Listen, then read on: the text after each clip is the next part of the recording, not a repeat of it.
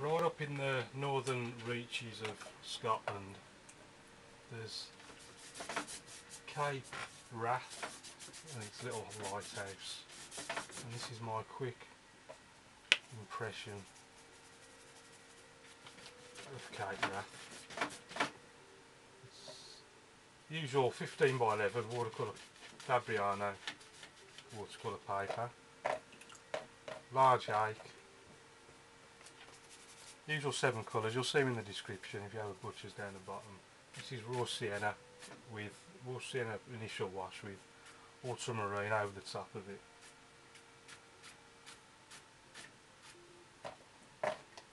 And then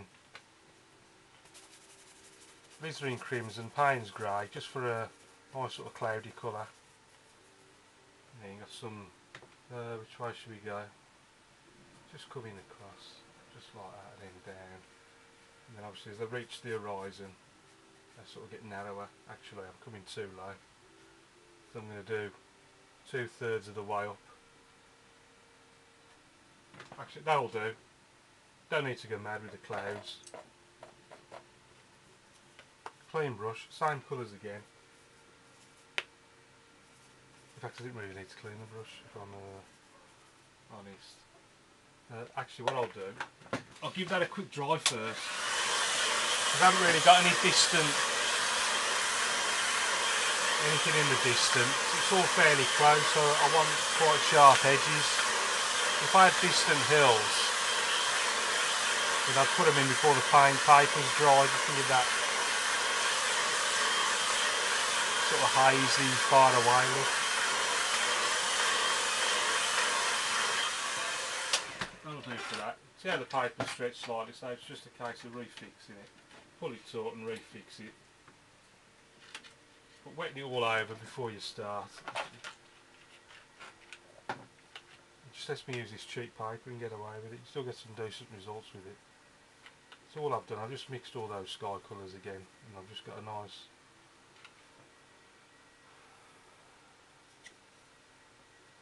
bit with a hake. So back to the hake. Got a, a lighthouse. Where do I want to put in?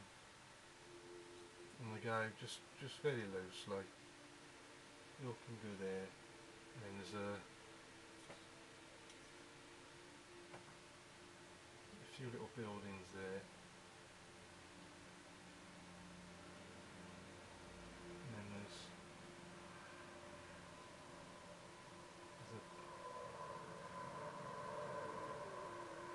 big one there with some chimneys and then we've got I've a little bit too small I think on the scar but I'll, I'm gonna I'll stick with it see how I get on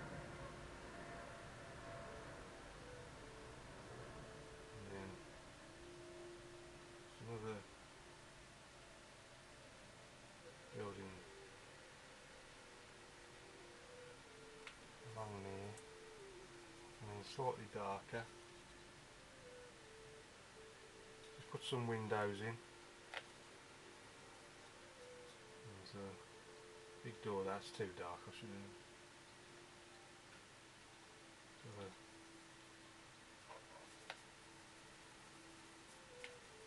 Slightly darker mix needed. I'm just going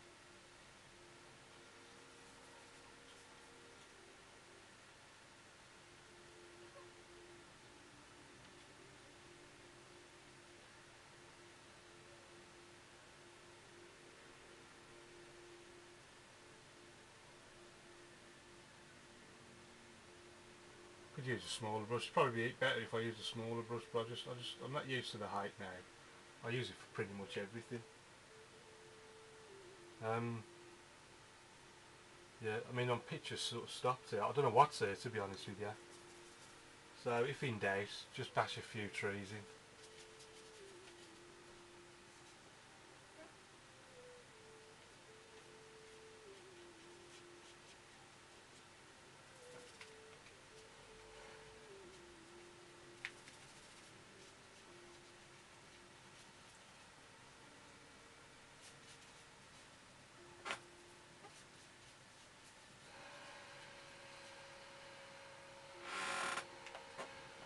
Path.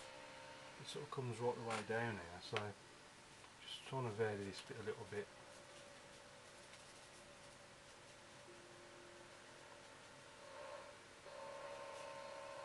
A few little bits grass and what have you. And then there's sugar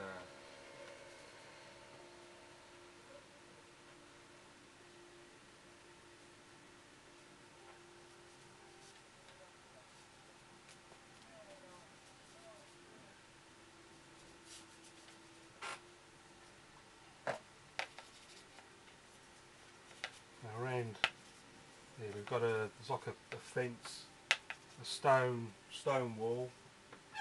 Sort of sort of starts up here and then works its way around. So I'll put it in dark first. Put it in nice and dark.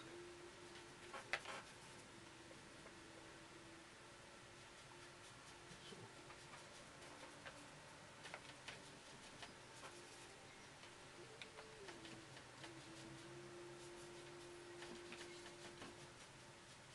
sort of comes along down there like that.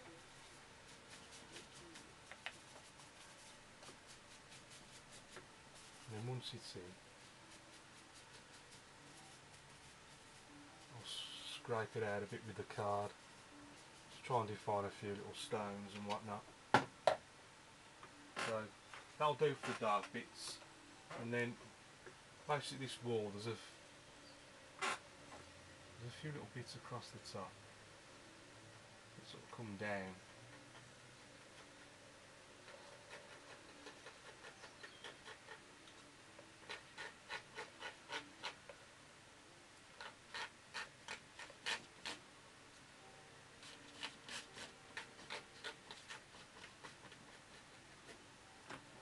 And then there's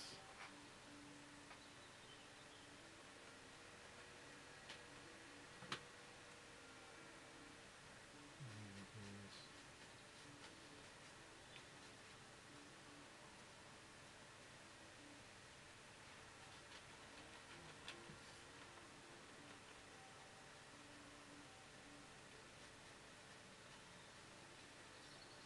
sort of stone bits that go across.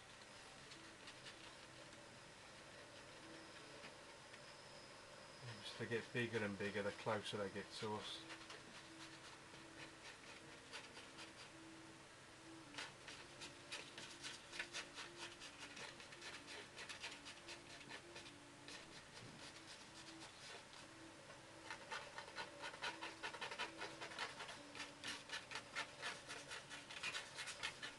Yeah.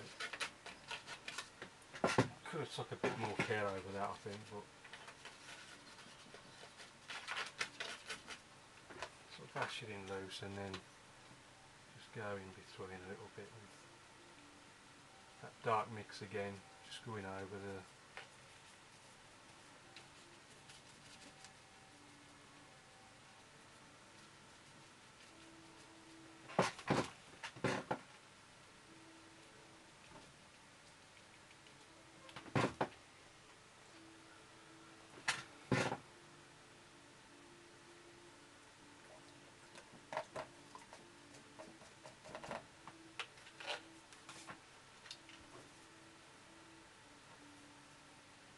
just fill that little bit in there.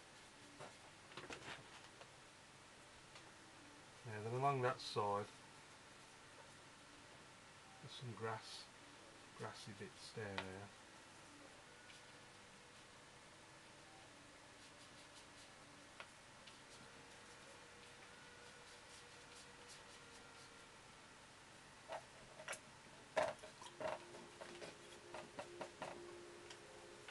And then we've got our path.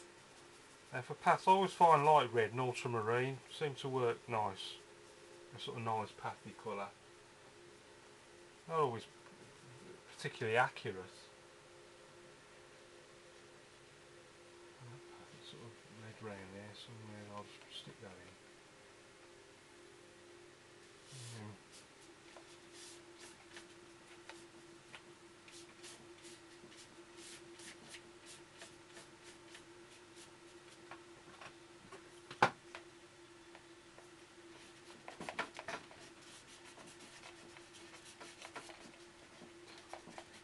kind to scuff it up a bit.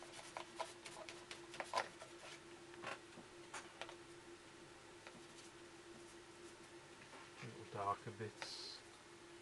And there.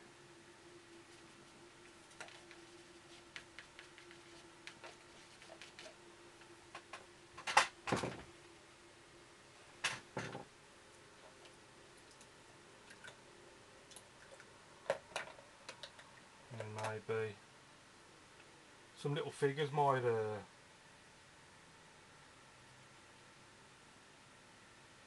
might go in here. Um, where should we put him? I just want a little figure sort of walking off into the round the corner. If I went say might need to give it a quick dry first actually.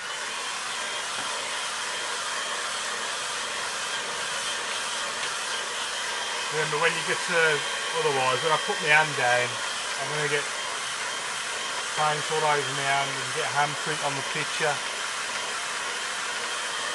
I've fallen for that a few times.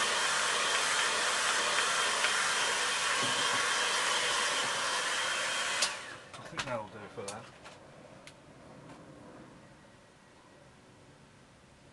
And then if we just have our little bloke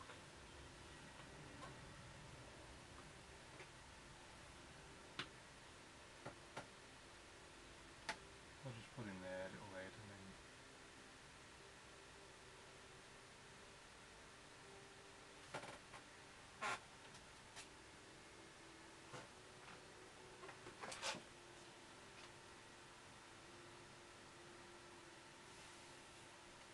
you know, a couple of birds flying out of the trees.